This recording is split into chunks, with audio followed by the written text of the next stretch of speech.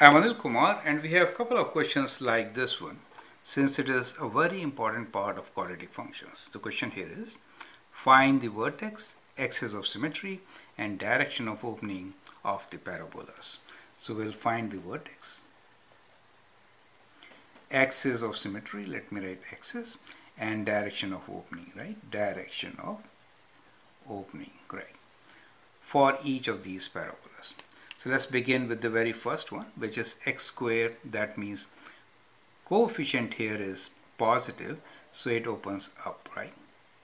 Now vertex here is x minus 0, you can see 0 and minus 5. So that is the value of vertex and axis is x equals to 0, right? The x value of the vertex. In this case, vertex will be at 0 but y value is 6, right? If I write 0 here, I get y equals to 6. Positive, that means up. Axis is the x value, again x equals to 0. In this case, 3 makes it 0, y value will be 0 here, and it also opens upwards, axis is x equals to 3, the x value. In this particular case, negative means down, and the vertex will be at minus 1, minus 3. axis is x equals to minus 1.